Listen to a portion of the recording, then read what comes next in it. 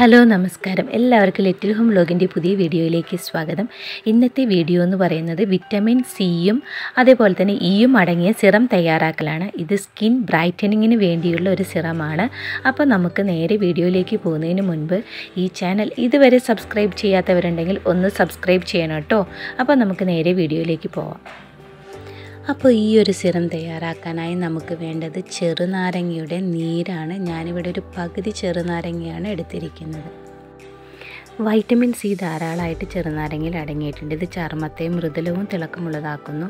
അതുപോലെ തന്നെ പ്രായമാകുമ്പോൾ ഉണ്ടാകുന്ന ഈ ചുളിവുകൾ പാടുകൾ കറുത്ത പാടുകൾ കരിവാളിപ്പ് എന്നിവയൊക്കെ ഇല്ലാതാക്കാൻ ചെറുനാരങ്ങ നീര് സഹായിക്കുന്നുണ്ട് കേട്ടോ. ചെറുനാരങ്ങയിൽ അടങ്ങിയിരിക്കുന്ന ഈ വൈറ്റമിൻ സി ചർമ്മത്തിലെ കൊളാജന്റെ അളവ് വർദ്ധിപ്പിക്കുന്നുണ്ട്. അതുപോലെ തന്നെ ഇത് ബ്ലാക്ക് ഹെഡ്സ് ഇല്ലാതാക്കുന്നു.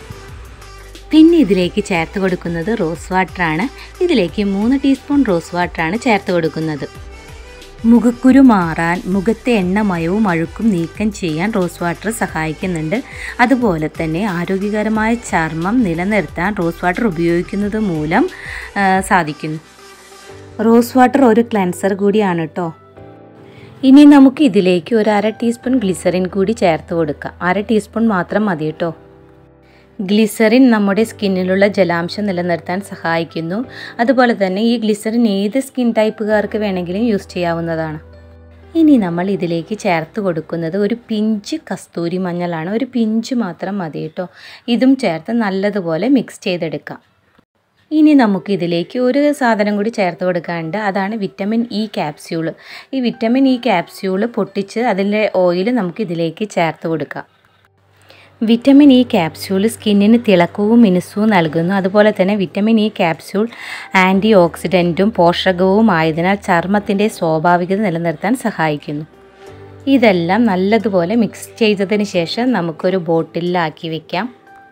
ഈ സിറം നമ്മൾ യൂസ് ചെയ്യേണ്ടത് രാത്രിയിലാണ്. ഫേസ് വാഷ് ചെയ്തതിന് ശേഷം നമുക്ക് ഈ സിറം യൂസ് ചെയ്യാവുന്നതാണ്.